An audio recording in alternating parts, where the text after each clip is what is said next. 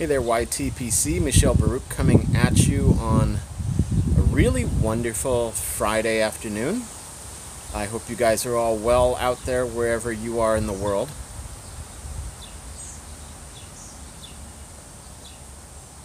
And I'm going to do uh, I'm to do another comparison video today. So, a ways back, Andrew Sirigliano, Bluefin Piper, sent me some Samuel, Samuel Gawith Squadron Leader from 2010.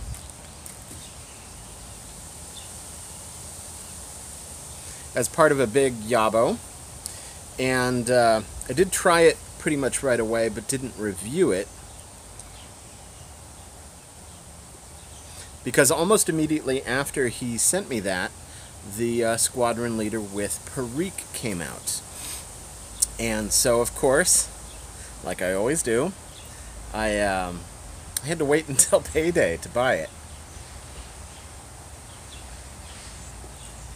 And it was such a limited release of the Squadron Leader special with Perique that, um, yeah, if you weren't awake when it started selling and online in the first few hours, it was pretty much gone.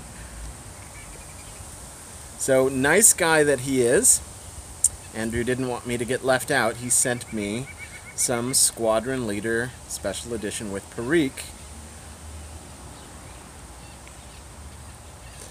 And I have been waiting to do a side-by-side -side comparison of the two. Um, so, I haven't smoked the Squadron Leader with Perique until today.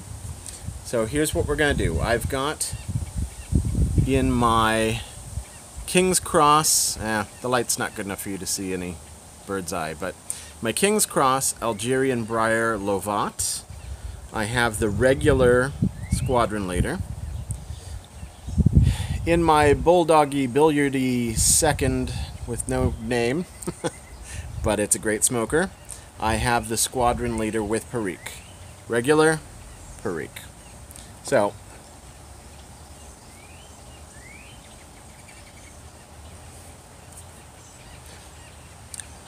Starting with the Squadron Leader regular, the, the traditional blend.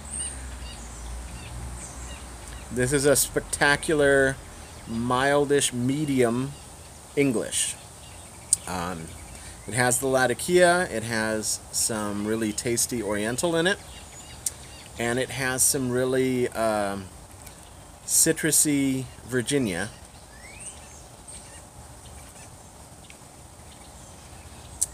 in some reviews that I read, a lot of people compare it to Early Morning Pipe. I think it's a lot more flavorful than Early Morning Pipe.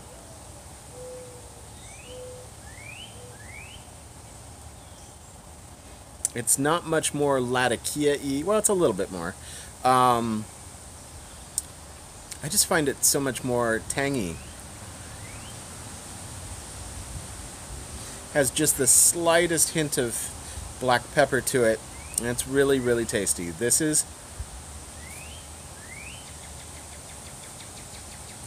mild enough that if I were someone who smoked, you know, multiple pipes in the day, this is something I could smoke all day.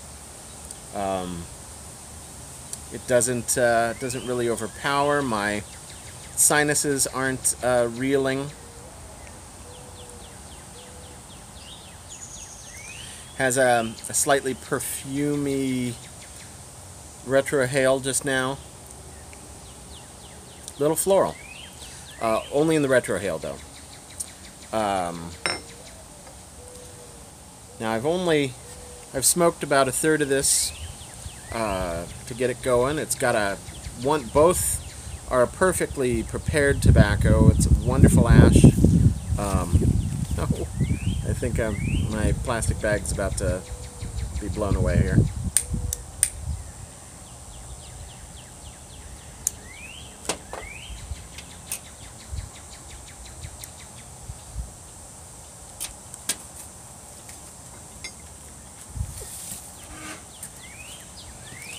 So let's take a look at them while I'm kind of getting into this bowl.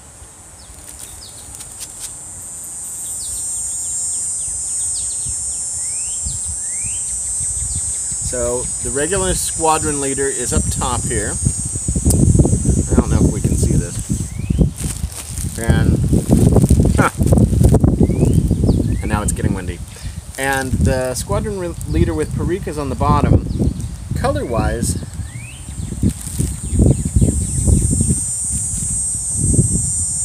the special edition with Perique is oddly lighter. And Perique being a black tobacco, uh, that's a little surprising. But there's some bright yellows and some gold. The uh, Latakia is very visually present in this bottom bag, which is the standard formula. And overall, just in appearance, it looks very much darker than the Squadron Leader with Perique. So let's give them a smell. If I haven't ruined my sinuses by smoking already. Oh, yeah. The smell of the uh, 2010 Squadron Leader is a little sweet, a little smoky, and a little sour. Um, I find that the my main taste characteristics that I get from the original blend are mostly the Orientals and the Virginias. The Latakia is very restrained. At least compared to the uh, Latakia bombs that I often smoke. In smell, this one is very similar.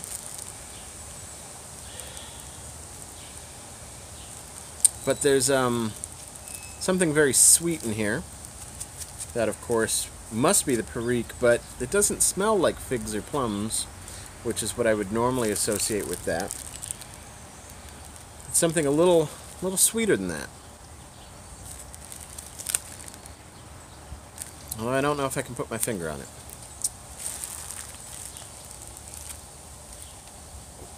Alright.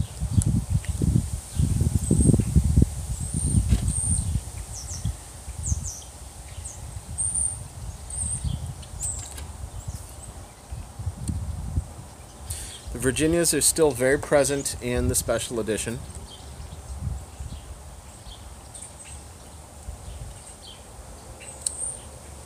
The floral note is still very present in the retro retrohale.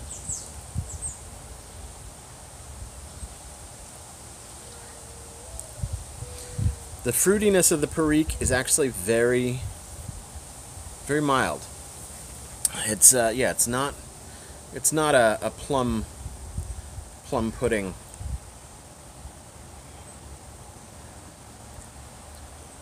taste that I, I associate with the Perique, but it's very nice.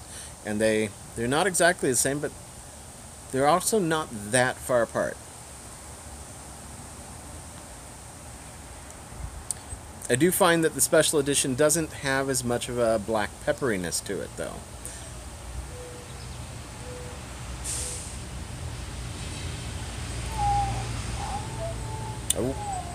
I'm hearing some murmuring on my baby monitor here. Let me just give a little peek. Alright, my son's napping, as often is the case on these Friday videos, so I may have to run soon.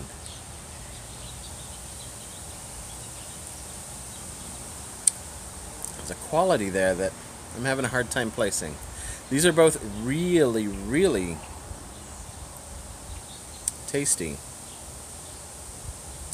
But you know, given the choice between the two, I kind of think I like the original Squadron Leader better.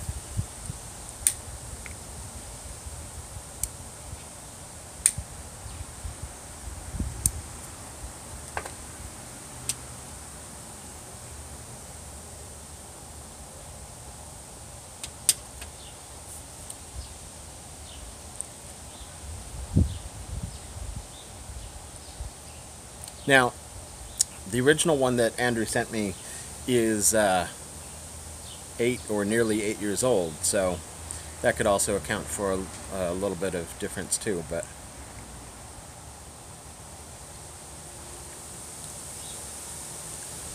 Yeah, I'm having a hard time uh, really identifying the flavors too much, but un- my undef- ah my underdeveloped palate aside, I can at least tell you what I like and what I don't like. This is nice with Perique. This is nicer. Um, yeah. So it's okay. I will not I will not mourn the fact that it was a limited edition and I am so thrilled to have had the chance to compare them.